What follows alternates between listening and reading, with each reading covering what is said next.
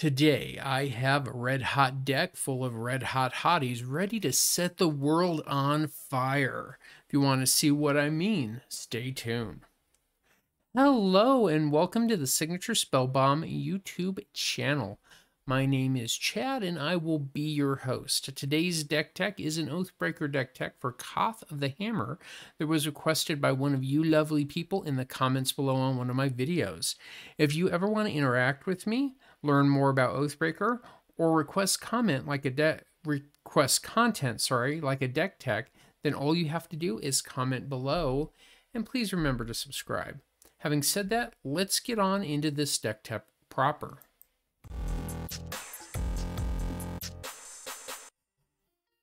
As I said, today's Oathbreaker is Koth the Hammer. He costs 2 and 2 red, and he's a 3 loyalty planeswalker. His first ability is to up him by one and untap a target mountain. It becomes a 4-4 red elemental creature till end of turn. It's still a land. Minus two, we get to add one red mana to our mana pool for each mountain we control. And minus five, we get an emblem with mountains we control have tapped. This land deals one damage to any target. Having said that, it's important to note that this is a heavily themed mono red mountain and elemental creature deck, and I think you'll see more of that as we get into it. Next up, we have our signature spell, which is Downhill Charge. It gives target creature plus X plus O till end of turn, where X is the number of mountains we control. If we want, we can sack a mountain rather than paying the spell's mana cost. Do remember that we still accrue uh, commander tax on the spell every time it's cast. Chandra Flamecaller for 4 and 2 red does a lot for the deck. First off, when we plus her, she's going to make us 2 3 1 elemental creatures that last for a turn. If we zero her, we can discard her hand and draw a better one with an extra card on top of it. And if we minus X her, she's a board wipe that deals X damage to each creature. Our next Chandra costs three in a red. She has a five loyalty planeswalker. When we plus one her, she has an anthem effect till the end of turn, giving all of our elemental creatures plus two plus O. If we minus one her, we get the ramp by two red mana for the turn. And if we minus two her, she'll do 10 damage to any target. That's a pretty decent removal spell in a pinch. It's also two damage to our opponent's face. Next up, we have Koth, Fire of Resistance for two and two red. He's a four loyalty planeswalker out of the New Mirrodin Phyrexian set. If we plus two him, we can search our library for a basic mountain card, reveal it, and put it into our hand, and then we shuffle our library. If we minus three him, he's going to deal damage to our creature equal to the number of mountains we control, which is just another piece of removal. And if we minus seven him, we'll get an emblem that says uh, whenever a mountain enters the battlefield under our control, this emblem deals 4 damage to any target. It's good to mention here that that is a little bit of a flavor win. Koth is originally from Valakut. Valakut the Molten Pinnacle is a card that says after you have so many mountains in play, if you play additional mountains, they deal 3 damage to any target. And the Vulshok on Mirrodin do tend to live around the peak of Valakut. Next, we have Adaptive Automaton. It's a three cost creature that's a 2 2. That when enters play, we're going to make it an elemental, and all of our other elementals will benefit from a plus one plus one anthem from it. Akoum Hellhound costs one red. He's a 0 1 elemental dog with landfall. Whenever land enters the battlefield, he gets plus two plus two till end of turn. There are some fetch lands in my mana base that will cause this to trigger multiple times a turn that we'll see later in the deck tech. Ashling Pilgrim from 1 in a red is a 1-1. Not only can we make it big by pumping it by paying 1 in a red and putting 1-1 counters on it, but also if we do that three times in a turn, we remove all the 1-1 counters from it and deal that much damage to each creature and each player. This is definitely one of those red hot hotties I was talking about. Brightheart Banneret is a one in a red elemental warrior that makes all our other elemental and warrior spells cost one less to cast. He's a 1 1. He also has reinforce one. We probably won't make good use of that. Next, we have Chandra's Magmut for one in a red. It's a 2 2 elemental dog. We can tap it to deal one damage target player planeswalker. This is decent planeswalker hate in a pinch. Cinder Pyromancer for 2 and a red is a 0 1. We can tap it to have it deal 1 damage to a player planeswalker. Whenever we cast a red spell, we can untap it.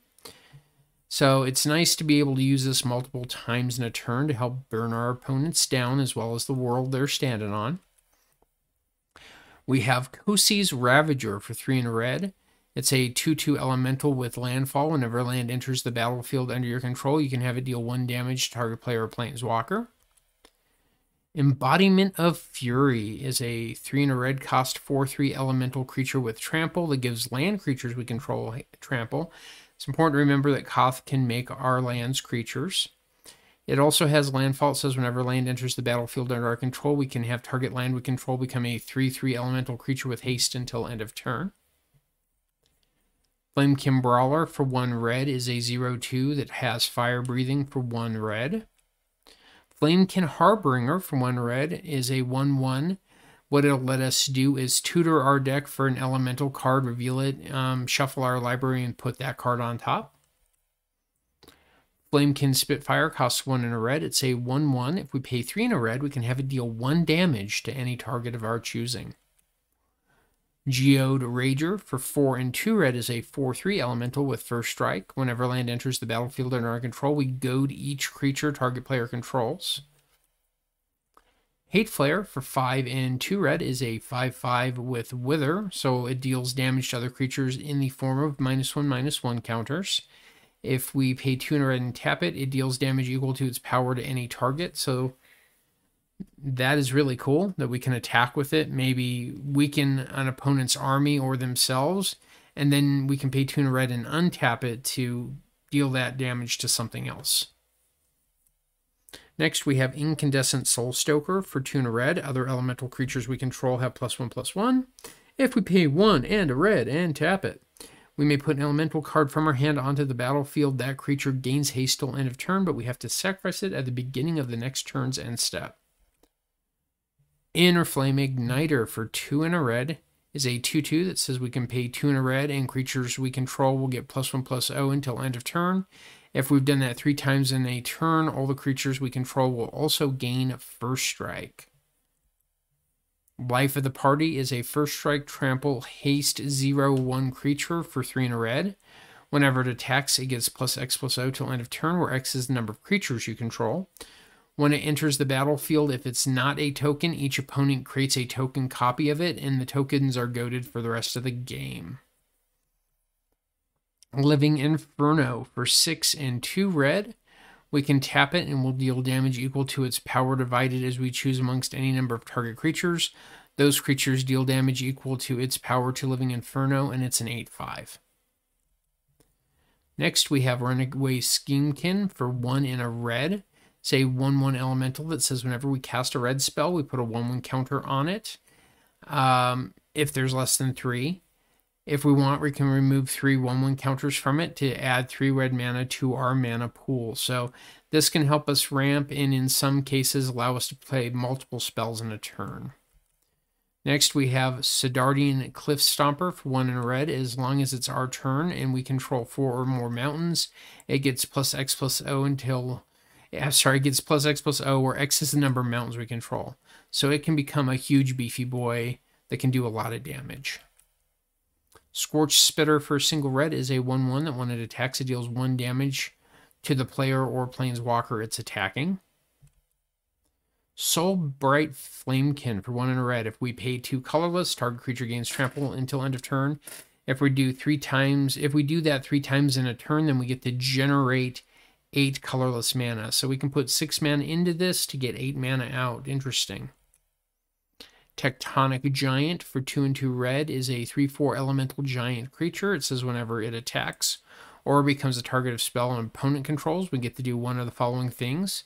The first is deal three damage to each opponent, exile the top two cards of our library, and we may choose one of them until the end of our next turn. We may play it. So, one of those two items. Thunderkin Awakener for one and a red is a 1 2 with haste. Whenever it attacks, we choose an elemental creature card in our graveyard with toughness less than Thunderkin Awakeners. Uh, then we return that card to the battlefield tapped and attacking. We sacrifice it at the beginning of the next end step. Next, we have Tunneling Geopede. For two red, it's a 3 2 creature with landfall. When land enters the battlefield under your control, it deals 1 damage to each opponent. Then Firecat Blitz for X and 2 red is a sorcery. It lets us create X 1 1 red elemental uh, cat creature tokens with haste. We exile them at the beginning of the next end step. If this is in our graveyard, we can pay 2 red and sacrifice X mountains to create X 1 1 red elemental cat creature tokens with haste. Caged Sun enters the battlefield. We're probably going to choose red. Creatures we control that are red will get plus 1 plus 1. Lands that we tap that would add red mana to our mana pool add an additional red mana. Claws of Valakut for 1 and 2 red says enchanted creature gets plus 1 plus 0 for each mount we control and first strike. Rite of the Raging Storm for 3 and 2 red says creatures named Lightning Rager can't attack you or planeswalkers you control. At the beginning of each player's upkeep, that player creates a 5 1 red elemental creature token named Lightning Rager. It has trample and haste, and at the beginning of the next end step, sacrifice this creature. Finally, we have Valakut uh, Exploration for Tuna Red. It has landfall. Whenever land enters the battlefield under your control, you exile the top card of your library. You may play that card for as long as it remains exiled. At the beginning of your end step, if there are no cards exiled with Valakut Exploration, you put them into their opponent's graveyard, then Valakut Exp- uh, Sorry, I'm reading this wrong. Land enters the battlefield, you get to exile a card. You can play that card until essentially your next end step. If that card is ex exiled still, then you put it into its owner's graveyards, and Valakut Exploration will deal that much damage to each opponent. Now we're getting into the lands. So one of our first fetch lands is Cabaretti Courtyard. This will let us get a mountain We've got Isolated Watchtower. Taps are colorless. If we pay two and tap it, we can scry one and then reveal the top card of our library. If it's a basic land card revealed, we get to put it onto the battlefield tapped. We can only activate this if an opponent controls two more lands than we do. Maestro's Theater lets us get a swamp or a mountain when it comes into play. Riveteers Outlook lets us get a swamp or a mountain when it comes into play. Next, we're running uh, 18, I believe, snow covered swamps. It might actually be 21. I'll double check in a second. But that pretty much rounds. Oh, I forgot. We're running terrain generator. It taps are colorless. If we pay two and tap, we may put a basic land card from our hand onto the battlefield tapped as well. And then I've got some suggested cards. So this isn't in the deck proper. These are kind of cards I would like to add, but they were too expensive. Cavalier of Flame costs two and three red. It's a 6-5 elemental knight. If we pay one in red, he can tap our other creatures and give them haste. Sorry, he can pump our other creatures and give them haste. When he enters the battlefield, we can discard X amount of cards and draw that many cards. When he dials, he deals X damage to each opponent, each planeswalker they control, where X is the number of land cards in your graveyard. Next, we have Chandra, Awakened Inferno for 4 and 2 red. She's a 6 loyalty planeswalker that can't be countered. Plus 2, each player gets an emblem with at the beginning of your upkeep. This emblem deals 1 damage to you. Minus 3, she deals 3 damage to each non-elemental creature. And minus X, she deals X damage to target creature or planeswalker. If a permanent dealt damage this way would die this turn, exile it instead. Coat of Arms will give each creature plus 1 plus 1 for each other creature on the battlefield that shares at least one creature type with it. So if we've got four elementals out, they're each getting an additional plus three, plus three. Door of Destinies, when it enters the battlefield, we choose a creature type, probably elemental. Uh, whenever we cast a creature of the chosen type, we put a charge counter on it, and creatures of the chosen type get plus one, plus one for each charge counter on Door of Destinies. Eternal Flame for 2 and 2 red says it deals X damage target opponent or planeswalker and half X damage rounded up to you, where X is the number of mountains you control. Fury is a 3 and 2 red 3 3 double striking knight. When it enters the battlefield, it deals 4 damage divided as we choose amongst any number target creatures and or planeswalkers. We can evoke it by exiling another red card from our hand. Herald's Horn when it comes into play, we choose Elemental. Elemental spells cost one less to cast, and if it's the beginning of our upkeep, we can look at the top card of our library. If it's a creature card of chosen type, reveal it, and we put it into our hand. Kindred Charge says choose a creature type. For each creature you control the chosen type, create a token that's a copy of that creature. The tokens gain haste. Exile them at the beginning of the next end step. This was almost the signature spell. Metallic Mimic for 2 is a 2-1. When it enters the battlefield, we're going to choose Elemental. It will become an elemental creature, and then each other creature we control that's an elemental will enter the battlefield with an additional 1-1 counter on it. Moraug Fury of Akoum. Each creature we control gets plus one, plus one for each time it, it has attacked this turn. Landfall, whenever land enters the battlefield under our control, if it's our main phase, there's an additional combat phase after this phase. At the beginning of contact, combat, untap all creatures you control. So by having a way to play multiple lands in a turn with Moraug out, we can actually get extra combat steps.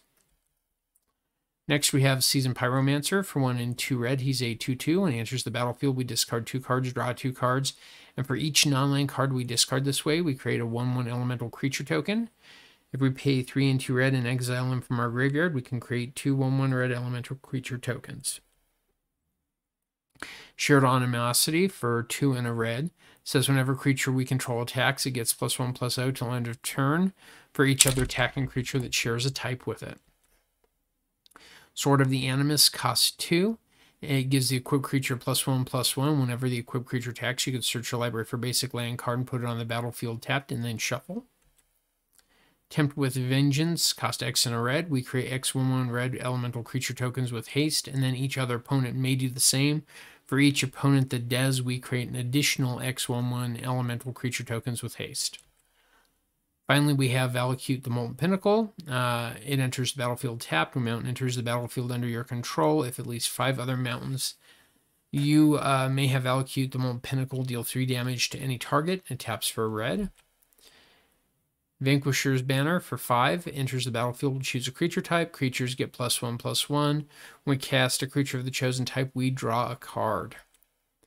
And that's it. I thank you all for coming along with me on this journey.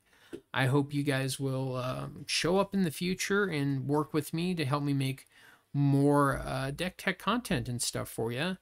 I'm starting up regular game nights every Wednesday to play Oathbreaker. If you're interested in that, reach out to me so I can get you a copy of the sign up sheet. Having said that, I hope you all have a great rest of your day and you stay safe out there.